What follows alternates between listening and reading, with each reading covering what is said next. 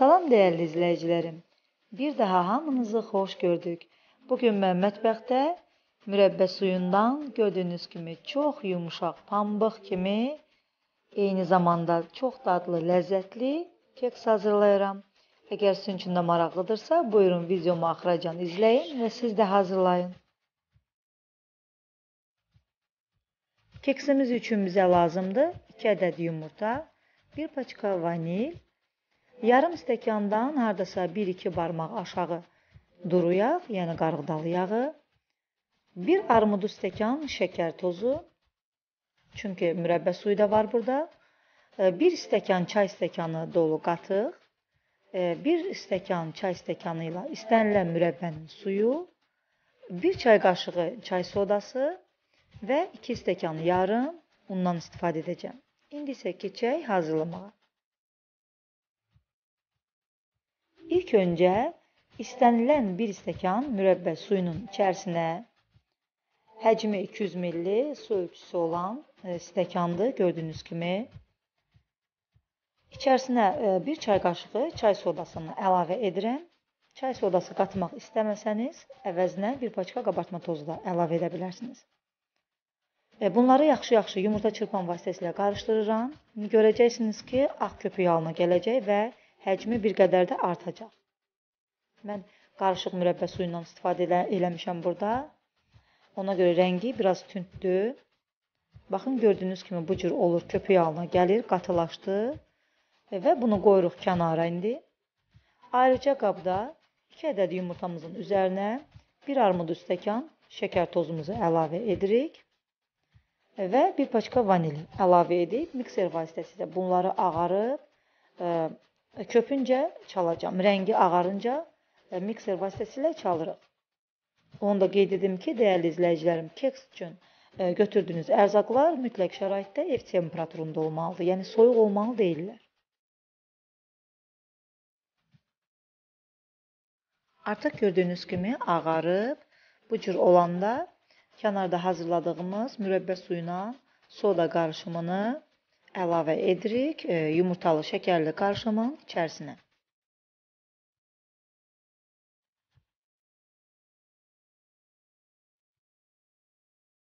Əlavə etdikdən sonra mikser vasitəsilə e, çox azacıq qarışdırırıq.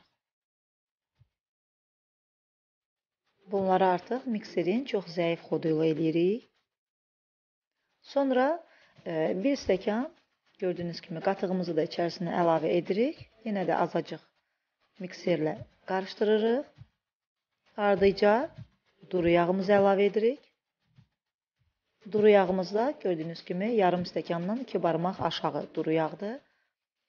Sonda unumuz qalır. Unumuzu da e, bir dəfəlik əlavə etmirəm. 2 stəkan yarım unu var burada. Unumuzu da az-az ələkdən keçirdə-keçirdə mikserin çox zəif xodu ilə qarışdırırıq.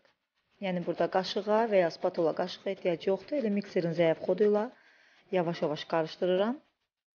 Qalan unumuzu da az-az əlavə edərək qarışdırırıq.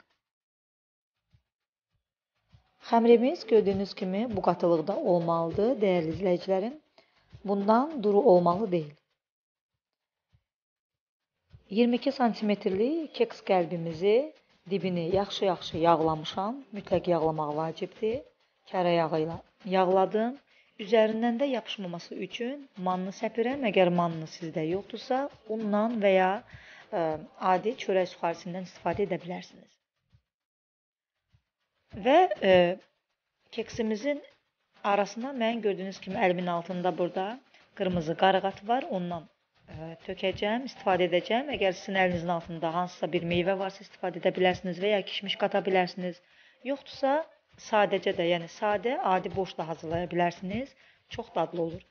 Xəmirimizin tən yarısını keks qəlbimizin içərisinə tökürəm. Tən yarısını tökdüm, gördüyünüz kimi və e, meyvələrimizi, qırmızı qaraqatımızı hər tərəfinə xəmirimizin üzərinə səpirəm. Meyvə suyum mənim burada biraz tünd olduğu üçün keksim də biraz tünd alınacaq. Sanki kakao qatmışam. Bir qədər şakal şokolad rəngi alacaq. Siz meyvə suyunu açıq götürsəniz, yəni e, keksinizin rəngi bir qədər açıq alınacaq. Burada biraz meyvənin dibində suyu qalıb çox azacıq, hardasa bir çay qaşığı onu da əlavə elədim. Və digər xəmirimizi də üzərindən tökürəm, meyvələrin üzərindən tökürəm. Yəni meyvələrin üzərini örtməlidir xəmirimiz.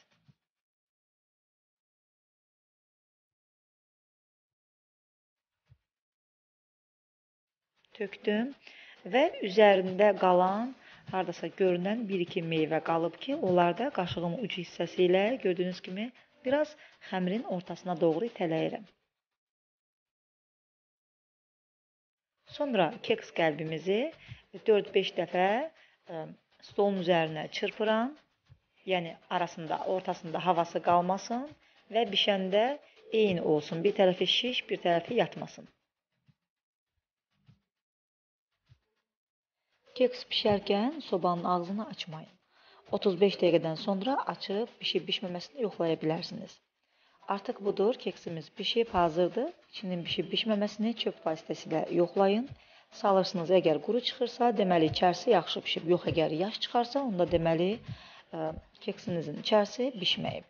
Keksimiz hələ istidir. Ə, bir qədər qalsın, soyusun. Sonra kəsib sizlərə göstərəcəm. Keksimizi 180 dərəcəlik sobada 45 dəqiqə müddətində bişirdim. Keksimiz sobadan çıxan kimi həmən onu bir başqa qabın içərisində, soyuq su olan qabın içərisinə qoydum. Alt hissəsi, yəni keksimiz, keks qəlbimizin alt hissəsi qaldı soyuq suyun içərisində. Bu cür olanda da, yəni çox rahatlıqla qəlbdən çıxır. Gördüyünüz kimi keksimiz çox yumşaq alınıb, pambıq kimidir. Sanki şokoladlı, kakaolu bir keksdir. Məsləhətdir ki, keksimiz tam soyusun, sonra doğrayın. İndi mən tələsdiyim üçün kəsib e, sizlərə göstərmək istəyirəm.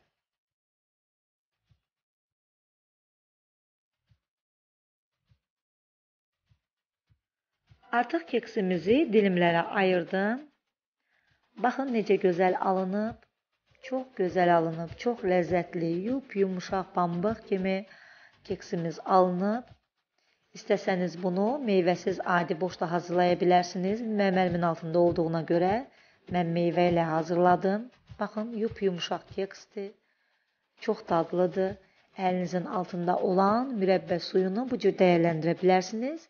Hər evdə Bildiyiniz kimi mürəbbənin dənəsi yeyilir və suyu artıq qalır. Hamımızın soyuducumuzda var və həmin mürəbbənin mətini, suyunu bu cür dəyərləndirib çox ləzziz, dadlı kekslər hazırlaya bilərsiniz dəyərli izləyicilərim. Əgər bu reseptimi də bəyəndinizsə, videoma baxdıqdan sonra like etməyi və hələ də kanalıma abunə olmamısınızsa, abunə olmağı unutmayın. Rəylərinizi şərh bölməsində gözləyirəm.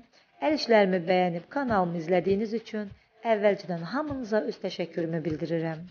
İnşallah yeni-yeni reseptlərlə görüşənədək sağ olun, sağlıqla qalın.